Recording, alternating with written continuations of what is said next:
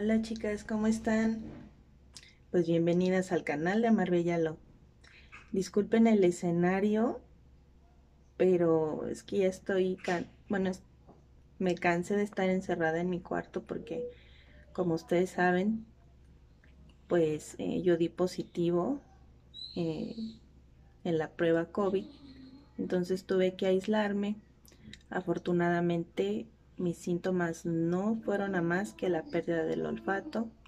Afortunadamente, gracias a Dios, mi cuerpo, pues o fue muy poca la cantidad de virus o, o mi cuerpo es muy resistente. Una de dos, porque esta enfermedad es desconocida. Bueno, pues el motivo del video de hoy es para, pues para terminarles de de platicar mi experiencia por todo este este duro duro proceso o duro golpe que estoy atravesando en mi vida que es el hecho de haber perdido familiares a causa de, de esta pandemia. En el anterior video les comenté que perdí a mi papá. Y el sábado hoy hace ocho días mi mamá perdió la batalla.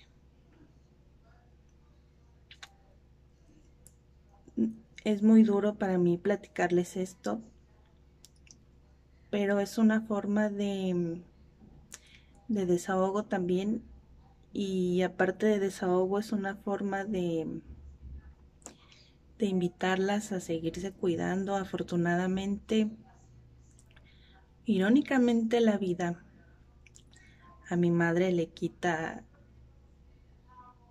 se, va de este mundo el, el 13 de, de febrero, sábado.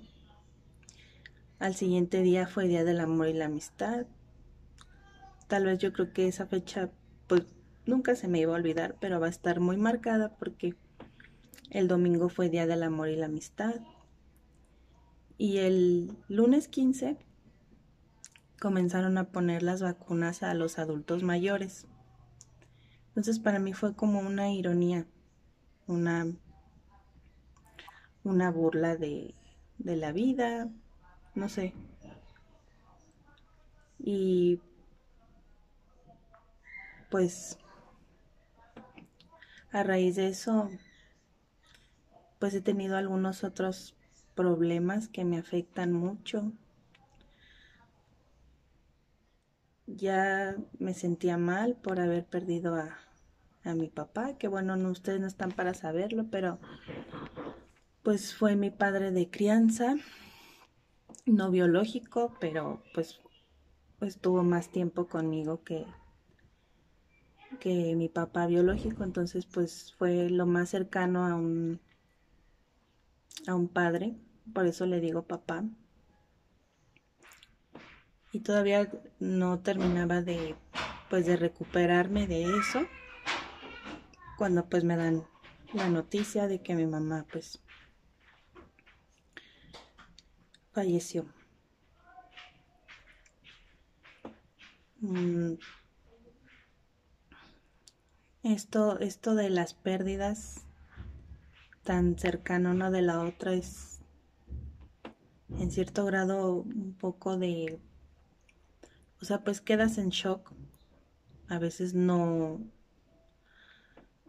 no, no puedes llorar tanto, pero el agotamiento mental es demasiado. Simplemente no tengo ganas de nada. No tengo el ánimo de, pues de nada. Me dicen, pues se entiende que te sientas así. Pero pues es muy distinto cuando pues a lo mejor te dejó tu novio no sé, digo, todos son pérdidas y son duelos, pero en este punto cuando se pierde a un ser querido es es es un duelo muy distinto que no que es muy difícil de manejar. ayer tuve la necesidad de salir. Era, era algo pues urgente que tenía que hacer. Entonces fui al centro comercial. No voy a decir cuál centro comercial. Pero, eh, o sea, era un mundo de gente. O sea, era así como un día normal. Estaban haciendo la fila para, para entrar pero ya ni siquiera están guardando la distancia, ya no, o sea, ya está muy pegado uno del otro. Y pues yo la verdad sí con la pena, eh, pues sí me quedé muy separada de la otra persona. Y la que venía atrás de mí ya estaba así como, hasta como con cara así como apúrate. Y yo, bueno, o sea que yo creo que no se les ha muerto nadie. O sea, eso es un hecho. Yo creo que si no se les ha muerto nadie, y por eso llevan su vida normal. Al pasar por el, por el filtro, digamos, tenían como un sensor para tomar la temperatura que no sonaba. Yo creo que sí servía, pero yo creo que suena cuando, cuando llevas fiebre. Pero ya todo el mundo se pasaba así, o sea, así rápido, rápido. Y ya ni siquiera se ponían gel. No, o sea, todos los que iban enfrente de mí, ninguno se puso gel. Ninguno. Entonces me quedé así como, o sea, ¿qué onda? Y yo fui la única, o sea, delante de mí habían como unas 45 gentes que yo alcancé a ver y todas se pasaron así, así, así, así.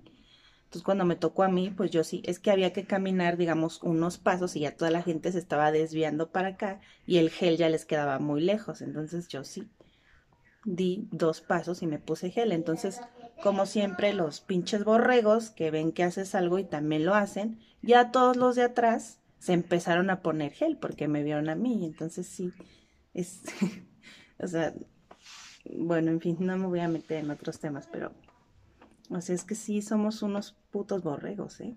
Pero bueno. Y estuve así, tenía yo la palabra aquí, pero es, pues es demasiado como echarme más encima, de por sí ya traigo mucho encima. Le iba a comentar al, al que estaba ahí, oye, la gente no está guardando la distancia ni se está poniendo gel.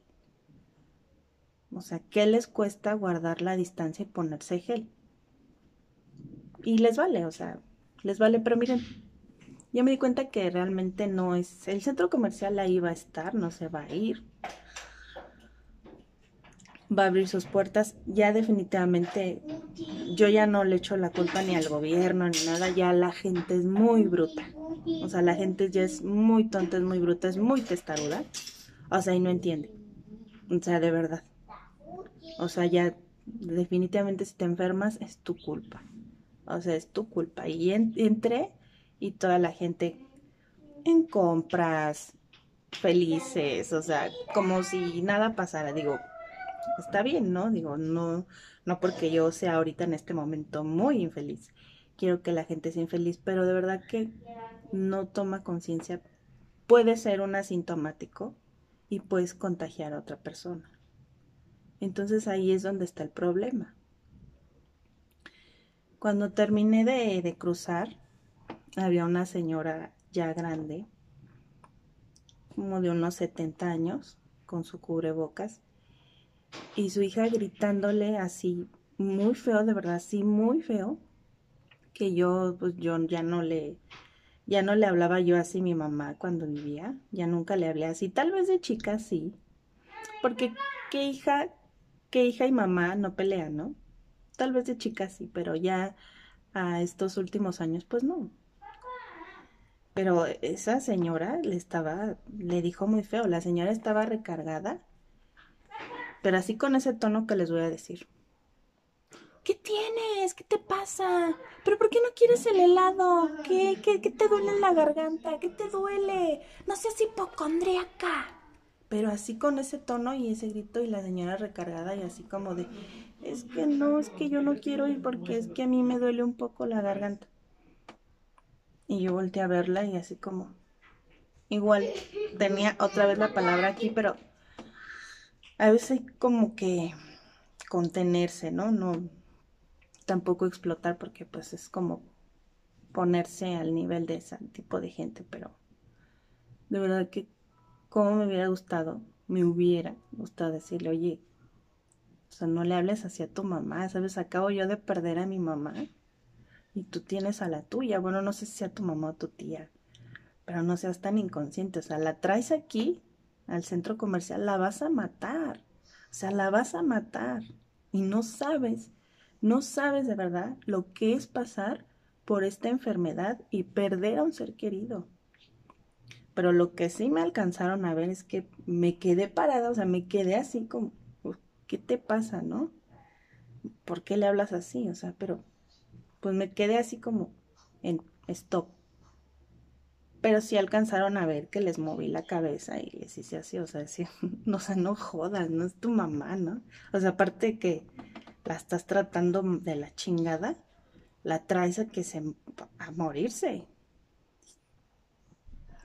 Y ya después platicándole a mi esposo me dice, ay, si oíste que era la garganta, pues la señora ya estaba mala, seguro. Uy, si no lo había pensado, porque ahorita mi mente anda como... Ya cuando me lo dijo él, dije, ah, pues sí es cierto, ya la señora se sentía mal. Ya la traían ahí porque dijo que le dolía la garganta, pero no lo... No lo analicé en ese momento, hasta que me lo dijo él. Ah, no, pues sí, ya, ya estaba mal la señora. pues qué pena.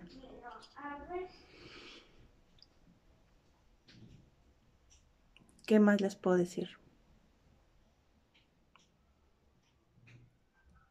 Ya afortunadamente a los a las personas mayores ya les están poniendo su vacuna. Qué dicha.